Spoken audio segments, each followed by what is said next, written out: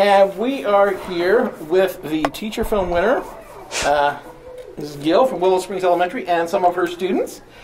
Uh, I'd like to tell you, like you to tell us a little bit about uh, the film, The Legend of the Purple Kitty. Okay, is this my microphone? Okay. Uh, well, I just I had an inspiration from a book, and um, I thought about what I would like to do with it. And we'd been working on legends and themes and myths and all that kind of stuff in our class. And so um, I thought maybe we could write one. So we had a little contest one day where we we all listened to some legends, and then we kind of set out a story map, and we started writing. And Will, this little boy right here, and his friend and his friend Cash, they came up with the characters and the theme of this and the and the plot of the story and the theme, and then we took that and all of us kind of added in and joined and rewrote it, and we added all the pictures and rehearsed all the parts and put it together with Mr. Hackerainen and a couple of our fantastic moms. Would like to say something? Who would say something? Will, would you say something? You? Okay. I'm just really glad that we got to make this story.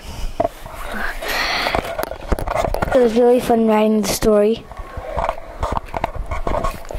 I'm really glad that we got nominated for the film festival.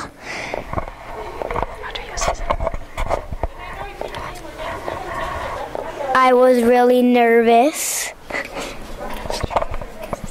I like that, um, that we got to make when we got to go to the film festival, see if we got to win.